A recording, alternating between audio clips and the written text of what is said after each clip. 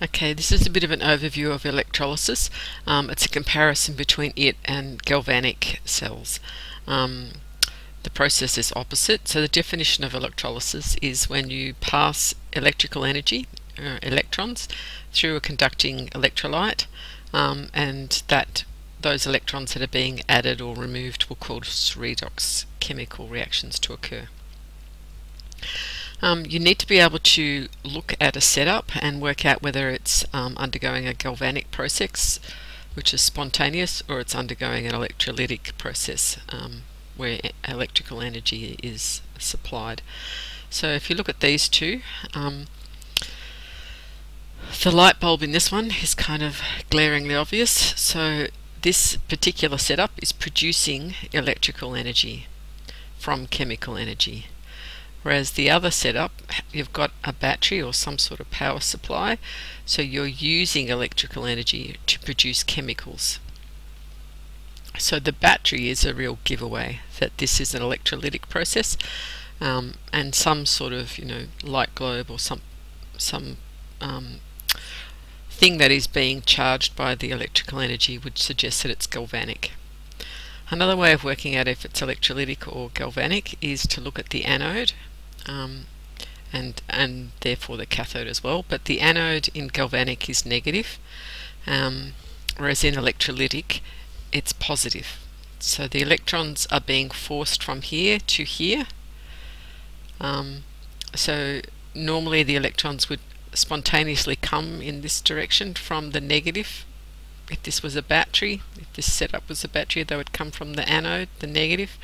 But if we're um, supplying the electrons, you can't get rid of the negative, so the electrons are coming from here and going to there, and so this is undergoing reduction, so it's the cathode. Um, this setup is in your textbook. So another way that people um, notice whether it's galvanic or electrolytic, galvanic cells you have to keep um, the two half cells separate because the reactants in them would react spontaneously if you put them together. So whatever is losing the electrons and whatever is gaining the electrons, if you put this with this um, directly, then the electrons would be lost from here directly into the solution. So the reactants have to be kept separate. So you need you'd need two separate containers for galvanic.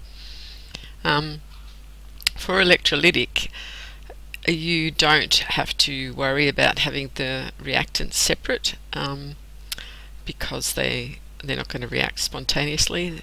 You have to force a reaction to happen. Um, so they can be in the same container, but uh, sometimes it's not very clear whether it's you know the same container or not. So it's best not to use this. You know, don't be looking for an individual container for electrolytic. Um, because often we have to put some polymer membrane or something to separate the two um, containers so that the products won't react.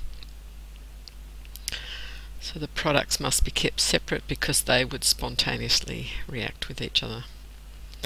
Um, so this at the moment is galvanic. It's got a voltmeter. So if you change that and you put a power supply here, then you could be forcing this to occur in the opposite direction. So don't get kind of um, used to seeing something and just assuming. A power supply is a, it's a clear indication or that the anode is um, positive rather than negative is a clear indication that it's an electrolytic rather than galvanic. They'll try and mix it up for you on exam questions.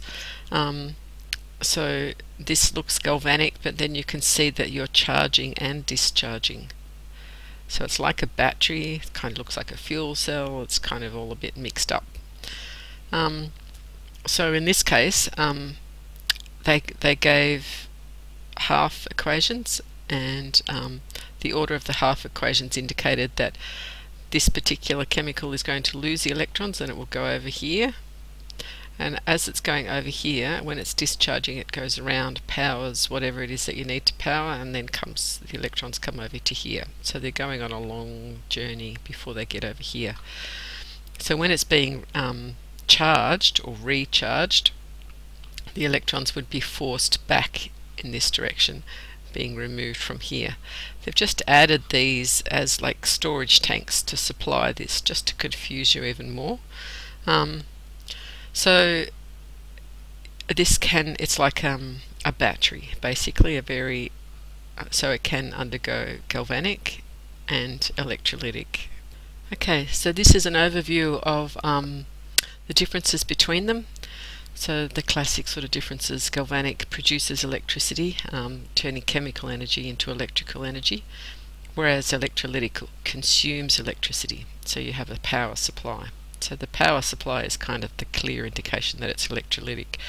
Um, you use turn electrical energy into chemicals, so you're making chemicals. Spontaneous, so you have to keep the reactants apart. Non-spontaneous, but your products, because they're opposite to each other, the reactions, um, the products would undergo a spontaneous reaction. Um, so you have to keep the products separate. Um, this is a classic, anode is negative.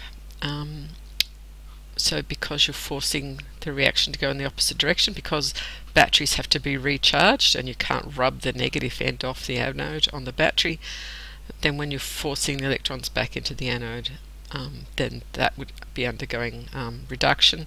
It would be the cathode, and so it would now be negative. Um, you need to know discharge and recharge. So the red, what's in red is the differences. Don't get confused with this. This is never different. The oxidation always occurs at the anode and reduction always occurs at the cathode for both of them. It's always the same.